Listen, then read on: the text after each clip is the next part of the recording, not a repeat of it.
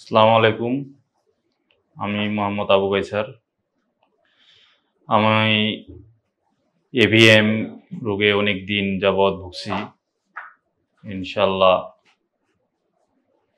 আজকে অনেকটা সুস্থ। আমি ভাবতেও পারিনি, অপারেশন ছাড়া অপারেশনবিহীন আমি সুস্থ হব। অনেক ডাক্তার বলছে অপারেশন করতে, অনেকেই বলছে কিন্তু এখানে এসে আমি অপারেশনবিহীন সুস্থ হয়ে বাসায় ফিরতেছি। এটা আমার জন্য আনন্দ। আমার পা দুইটা প্রায় জোড়ায় লেগে থাকতো। তখন অনেক কষ্ট হতো, বসতে পারতাম না, বসলে উঠতে পারতাম না। মানে হাঁটা চলার খুবই কষ্ট হতো। যখন সুস্থ ছিলাম তখন বাচ্চাদের সাথে, আমার বন্ধুর সাথে অনেকে খেলাধুলা করছি। কিন্তু অসুস্থ হওয়ার পর আমাদের বাচ্চার সাথে আমি হাঁটতেই পারতাম না, খেলা কি করব। হাঁটা হাঁটিয়ে করতে পারতাম, বিছানায় শুইতেই পারতাম না, রাত্রে ঘুম হারাম হয়ে গেছিল। ঘুমাইতেই পারিনি। তখন প্রায় ইন্ডিয়া যাওয়ার প্রোগ্রামও নিয়ে নিয়েছিলাম তখন এই ইউটিউবে এই স্যারের মানে সন্ধান পেয়ে এখানে আসি অসুস্থ থাকা অবস্থায় নামাজ পড়তে পারিনি, বসতেই পারিনি, চেয়ারেও বসে থাক থাকলে আমার কষ্ট হয়, চেয়ারে বসে থাকতেও পারিনি। এখন ইনশাল্লাহ আমি যাই নামাজ বিছাই নামাজ পড়তে পারি, এখন বসেও থাকতে পারি। আমার বাসা থেকে অনেকে বলছিল, তে, এখানে মানে এখানে ভালো হবে না, ওষুধে ভালো হবে না থেরাপি দিয়ে যে মানে নানান জনে নানান প্রশ্ন, বাইরে যেতে হবে। এই ধরনের নানান জনের কথা ভেবে তো আমি সিদ্ধান্ত নিয়েছি যাচ্ছে দেখি এত টাকা খরচ করলাম, এখানেও দেখি কি হয়। তখন আমি নিজের ইচ্ছাই এখানে চলে আসি। বাসায়ও তখন বলল, যাও, দেখো, সব জায়গায় তো টাকা খরচ করল। এখানে দেখি। আলহামদুলিল্লাহ, এখানে ডিপিআরসি হসপিটালে ইনশাল্লাহ আমি একাই এসেছি।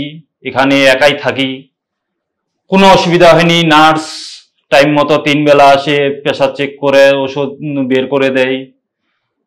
পানি খাওয়া দাওয়া সম্পূর্ণ এখানে আমার রুমেই পাই, কোনো অসুবিধা হয় নাই। সবচেয়ে মজার বিষয়, এখানে কোনো বাইরের মানুষের প্রয়োজন হয় না। এখানে রুগী একাই যথেষ্ট, একাই থাকতে পারেন। আমার কাছে মনে হচ্ছে যে আমি বাসায় চিকিৎসা করতেছি, বাসার ফ্যামিলির সাথেই চিকিৎসা করতেছি। এখানে আমার কোনো কোনো টেনশন নাই, কোনো কিছু নাই। এখানকার থেরাপি বা যা আমার থেরাপি আছেন আমার সাথে, এ নিয়ে আমার সাথে সব সময় থাকেন, ভালোভাবে থেরাপি দেন। ইনশাল্লাহ কোনো কিছু ত্রুটি হয় নাই। এ হাসপাতালে আসলে মনে হবে বাসায় বাসায় বসে আছি। শফিউল্লাহ প্রধান স্যার কাছে যখন আসি, তখন আমাকে সুন্দর করে স্যার বুঝাই দিছে, এভাবে এভাবে নিয়মকানুন মেনে চলবা। কথাবার্তা আমার কাছে খুব ভালো লেগেছে। উনি সুষ্ঠুভাবে মানে রোগ সম্পূর্ণ বিবেচনা করে, রোগ নির্দিষ্ট করে এখানে চিকিৎসা করেন। যে রোগ হয়েছে সেটারে তিনি চিকিৎসা করেন। মানে স্যারের কথা আমার খুব ভালো লেগেছে। স্যারের কাছে যখন আসি, স্যার আমাকে সুন্দরভাবে বুঝাই দিছে তো এই এই করতে হবে, ইনশাল্লাহ। সেই মোতাবকে আমি অনেকটা সুস্থ হয়েছি। স্যারকে আমার অনেক ধন্যবাদ। আমি যেখানে আশাই করতে পারিনি তে মানে স্যারে মানে অপারেশনবিহীন আমি ভালো হব। স্যার সেটা আমাকে করিয়ে দিয়েছেন, অপারেশনবিহীন আমাকে সুস্থ করে দিয়েছেন। স্যারকে অসংখ্য আমার পক্ষ থেকে ধন্যবাদ। আমি এখন যে রুগীর নিয়ে কথা বলব, আবু কায়সার আপনারা অলরেডি রুগীর ভিডিও দেখেছেন। তো অলরেডি আপনারা ওনার কথা শুনছেন। তো ওনার ব্যাপারে আমি একটু বলব, ওনার কিন্তু একটা পিএলআইডি সার্জারি ছিল এল ফোর ফাইভে যেটা ফেনেস্ট্রেশন এবং ডিসেক্টমি এটা কমন সার্জারি করা সারা ওয়ার্ল্ডলি কোমরের ডিক্সের প্রলাপস ছিল এবং ওনার সেটা অপারেশন করার পর উনি ওটা থেকে মুক্ত হয়েছেন। কিন্তু ওনার নতুন সমস্যা দেখা দিয়েছে যে ওনার হিপ জয়েন্ট আমাদের এই যে হিপ জয়েন্ট দেখেন, আমাদের এখানে একটা ছবি আমি দেখাচ্ছি। এখানে দেখেন, এই যে হিপ জয়েন্ট এই হিপ জয়েন্ট ওনার এই দুইটা হিপ জয়েন্টে সমস্যা, ওনার আমরা বলি A V N avascular necrosis of hip hip জয়েন্টটা আস্তে আস্তে নষ্ট হয়ে যায়, ক্ষয় হয়ে যায়। এবং এই রুগীগুলো আমরা এই করোনাকালীন পরে প্রচুর রুগী পাচ্ছি এবং ওনার পাশাপাশি কোমরও ব্যথা ছিল। আরেকটা হচ্ছে ওনার ওভারওয়েট অতিরিক্ত ওজন।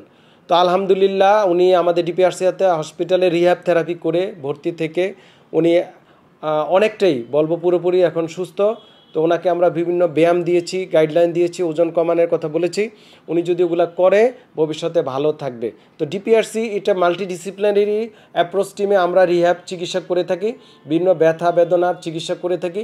এই রুগীগুলো আসলে ভর্তি থাকাতে রেজাল্টটা খুব দ্রুত হয় ইফেক্টিভ হয় এবং অথেন্টিক হয়। এবং কস্ট বেনিফিট পায় রুগী, সময় কম লাগে, টাকা কম লাগে।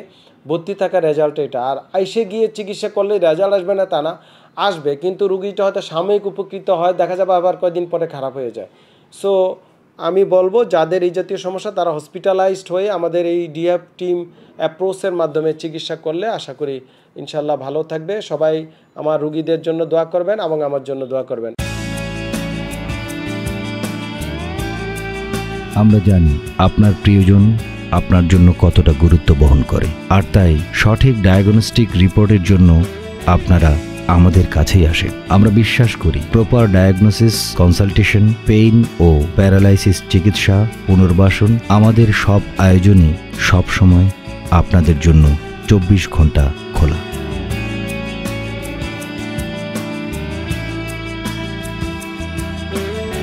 নির্ভুল রিপোর্ট অতি দ্রুত সময়ে আমরাই দিয়ে থাকি।